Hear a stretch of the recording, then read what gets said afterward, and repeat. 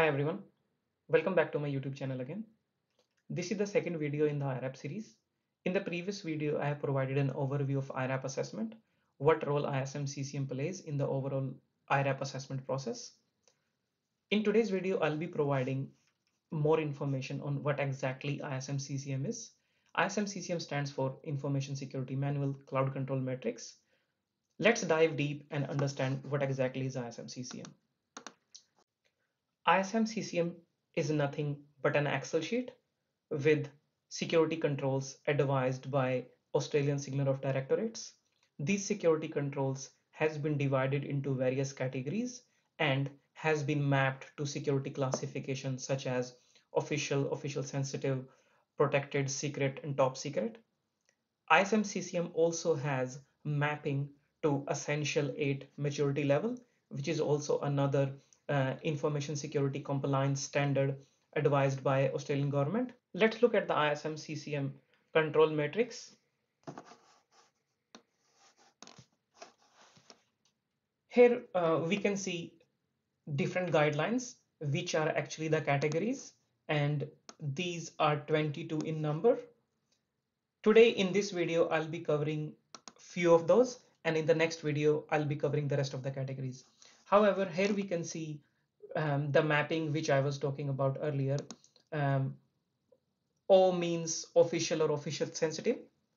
Number of technical controls for both official and official sensitive are same. So it's indicated by just one column here O and then uh, protected, secret, top secret, essentially at maturity level 2 and maturity level 3. So basically these are the columns which can be used to map these controls and as per the requirement of your organization or the IRAP assessment which you are targeting for whether it's for official protected secret or top secret, uh, these controls can be filtered and uh, statement of applicability which is actually the scope in which these controls can be referred.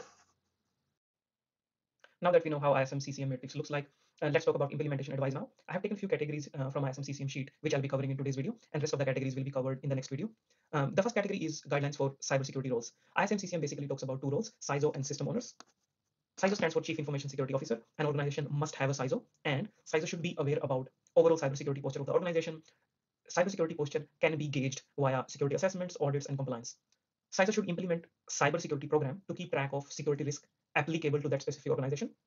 CISO should run a cyber steering committee periodically to make strategic decision to keep risk under the appetite of that organization. CISO must be across the cyber incident response plan. CISO is responsible for yearly cybersecurity budget so that CISO must plan it uh, carefully so that different activities throughout the year can be supported. These can be various projects, internal assessments, and so on. The second cybersecurity role, which ISM CCM talks about, is the system owners. In, our, in an organization, we all have different systems. So each of the system must have a system owner assigned and this is the responsibility of a system owner to ensure that their specific system is gone through uh, various security risk assessment processes, security control implementation, risk has been identified, mitigation plan for the for the risk for the identified risks. Systems are integrated with VM, patching, logging and monitoring, various uh, security governance and compliance practices. So all these activities, system owner need to ensure that they are happening I have clubbed next two categories considering they talk about same thing, which is guidelines for communication infrastructure and communication systems. ISPs, telephone, telephone systems, video conferencing, and fax machines. These are basically the highlights of, of both of these categories. And the gist is just to ensure that only authorized personnel are using such services, because then otherwise these services can become the beacon of data exfiltration and data breach. So organization need to ensure that there is a policy around it. Logging and monitoring must be always configured and only authorized um, personnel are allowed to use these services. Also, I will stress upon the uh, security risk assessment which an organization carries on different in, in, uh, internet service providers before consuming their services, which also feeds back to the overall risk which any, which any organization is standing on. The next category is guideline for cryptography.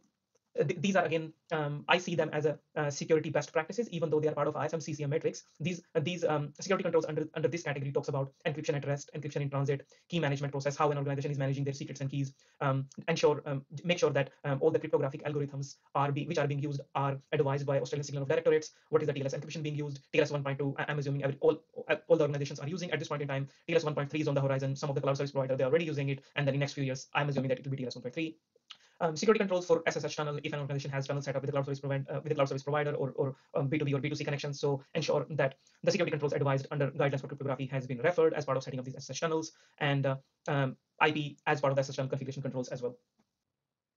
The next category is guidelines for cybersecurity incidents. Every organization must have cybersecurity incident response plan. Logging and monitoring must be configured and in place, has been tested thoroughly. Um, post identifying a malicious activity, alert should be fired automatically, and then later on, uh, triaging that alert, investigating that alert, and taking action appropriately, whether it was a false positive or an actual security incident, and reporting the uh, reporting reporting the cybersecurity incidents to the um, authority as per the law.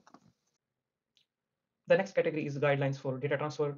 An, an organization must have a policy for data transfer, whether it's a data import or export. Certain security checks must be carried out just to ensure malicious data doesn't get import in inadvertently inside the organization and the data which is going outside of the organization, it's going only um, to the authorized personnel who are expecting this specific data.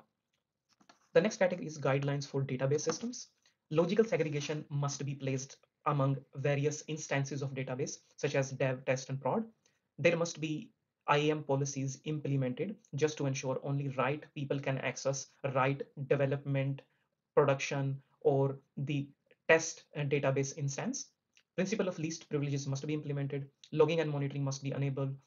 Encryption, data in, whether it's data in transit or data at rest, must be enabled as per the algorithms, cyber uh, cryptographic algorithms advised by Australian Signal of Directorate data validation sanitization checks must be carried out in both directions whether it, if the data is going out just to ensure it's going to the right people and if the data is coming inside the organization just to ensure before it gets used in the production database is it must be scanned for any malicious input the next category is guidelines for emails. ISM CCM has detailed security controls on email usage policy. Email should be marked as per the security classifications an organization is targeting for.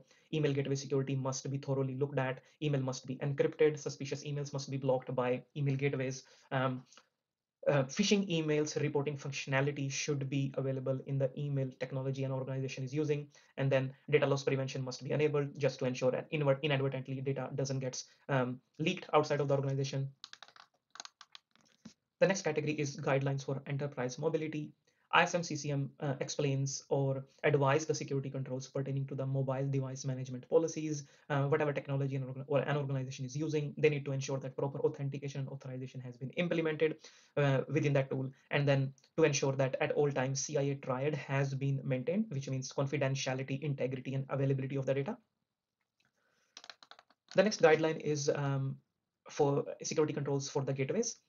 Gateways are the network nodes which allows multiple networks to communicate with each other. They help in setting up DMZ zone to separate devices and services from getting exposed to public network.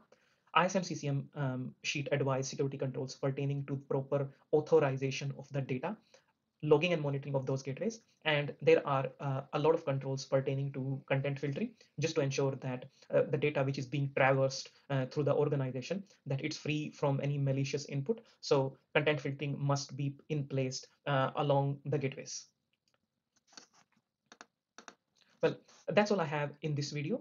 And in the last video of this IRAP series, I'll be covering the rest of the security controls of ISM CCM sheet. Thank you for watching the video.